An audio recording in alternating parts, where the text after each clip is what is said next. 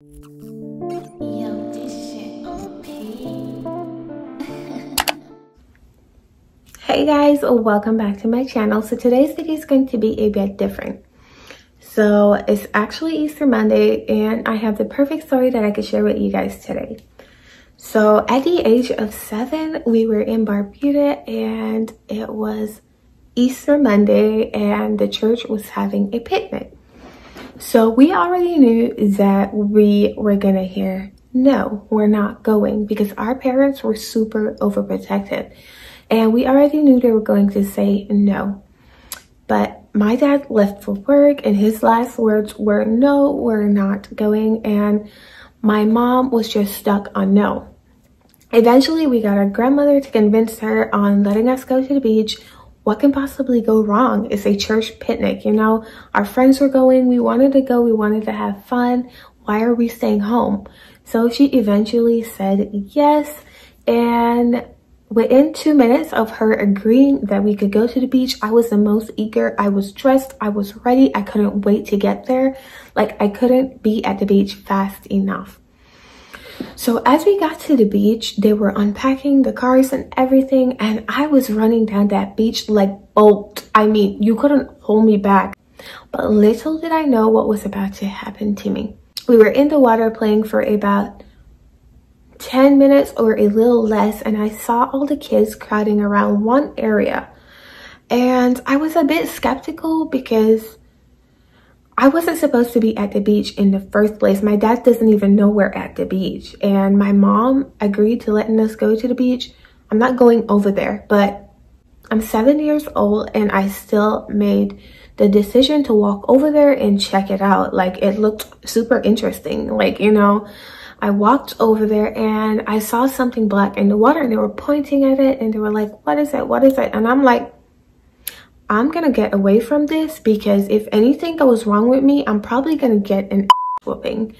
As I turned around to walk away from the area, a wave came and knocked me over the exact same time. And what had actually just happened was the wave was coming and the kid scared it and it swam directly in front of me and I felt on it and it just ripped my knee out and probably went into hiding wherever it went to enjoy that really good meal it just had. And about two minutes after, my leg started cramping, like I couldn't feel my leg. I was falling and I'm like, what's wrong, you know? So I got out of the water and when I looked down at my knee, it was horrifying my knee looked like when you take meat and you just banged it up. Like it looked minced. It looked horrible. It was all hanging out and it was just bleeding so badly. I went into immediate shock. Like I went on the beach and I was just sitting there like this. Like my hand was over my knee like this and I was just bleeding everywhere. I was bleeding out. I can feel myself starting to get dizzy and my eyes were going black and this little girl walked over and she was like are you okay? And i wasn't answering because i was in shock. I lifted up my hand and she's like oh my gosh you have a cut.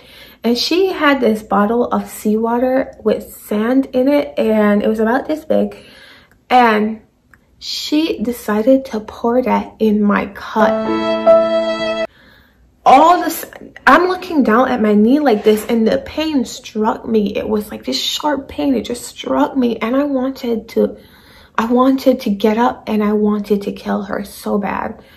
But i was looking at it and there was just sand everywhere. It was mixed up with all the flesh and all the everything was just mixed with the sand. And i'm like are you serious right now? You know? And i'm like go get help and I was just praying at that time. She didn't tell my mom yet because I thought I was going to get licks. So this lady came down the beach and she's like, are you okay? And I'm like, no. And I lift up my hand and she started freaking out. She grabbed me up and she was taking me back up the beach. Now I can already see my mom starting to freak out because it's like, we're not supposed to be here. You know, what happened? What happened? And uh, when I when they saw what happened, they all started freaking out. And I can remember this guy saying, I had some bush in the back of my car and I was just thinking like, no, you're not putting any bush in my cut. Like it already has sand in it. Why would you want to put bush in my cut? And my mom's like, no. So they immediately rushed me to the hospital and I hadn't shed a tear because all I was thinking that is, I am in trouble. Like, I'm so in trouble. Like, my mom had to call my dad and let him know. And the thing about my dad is you wouldn't know he could speak English until that day. That day he knew everything in English. He was just freaking out. And I can completely understand because who would want to be in this situation? I was supposed to be home as far as he knows that we're all home and we're safe. And then this happens. So when the doctor saw it, he was like, what am I going to do? I don't know what to do. I don't know if I could do this. But he went ahead and he gave it a try and he did his best and he did a pretty good job. They had to airlift me to Antigua and when I got there, the doctor was actually very, very pleased and he said he doesn't think he could have done a better job because it was so bad and I had to do x-rays and a lot of checkup on my knee to make sure everything was fine inside. And I don't remember how long I was there, but I eventually went back and it didn't end there. Like, I don't know what struck me, but about a week later, I decided to just get up and I'm like, I'm going to the store. I could do this. I am going to the store and I'm gonna go get me some cookies, some 50 cent cookie. Was it worth it? No, it wasn't because what was about to happen, like I'm gonna regret this all over again. So I got to about 20 feet away from the yard. I'm like, I'm gonna go, I'm gonna come back. My mom's not gonna even know I was gone. So when I got to my cousin's fence, she's like, where are you going? I'm like, I'm going to the store and I'm gonna go get me some cookies. She's like, no, you're not. And I'm like, yes, I am because I was just going to prove everyone wrong that I could do this. So I eventually gave her the money and she's like, I'm going to follow you home and then I'll go get you the cookie. So now I got to my gate and we had like wooden gates and it was a bit shaky and there was a, a small hole at the entrance of my yard. So I was stepping over and I was using the good leg.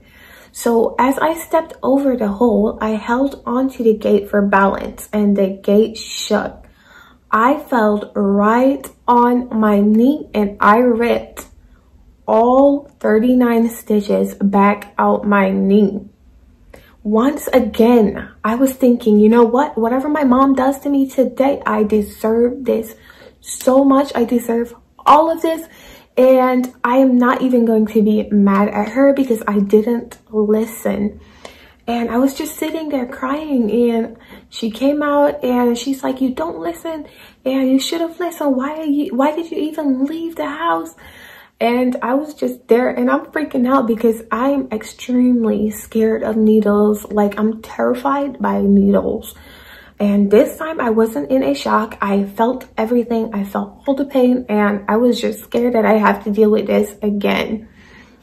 So I went there and I had to get my knee stitched back up again. And I definitely learned my lesson because when I got home, I did not leave that house and I didn't move again. Like my siblings were probably the most mad at me though because we were never ever allowed to go to the beach Again, like it wasn't an option. Don't ask. Don't think about it. I don't want to hear about it ever. Don't say it like, no, you're not going ever again. But we eventually got to go to the beach when we were much older and we could go on our own. But not once we were living under their roofs, that wasn't happening. But I learned my lesson and this is what my knee looks like now. And I also got stitches up here and the eel took the rest. Like it had a great meal on that day. And uh, yeah. That's pretty much the end of my story. I hope you guys enjoyed it. Don't forget to like comment and subscribe. Leave in the comment section down below if you guys would like to see more videos like this on my channel. See you guys in my next video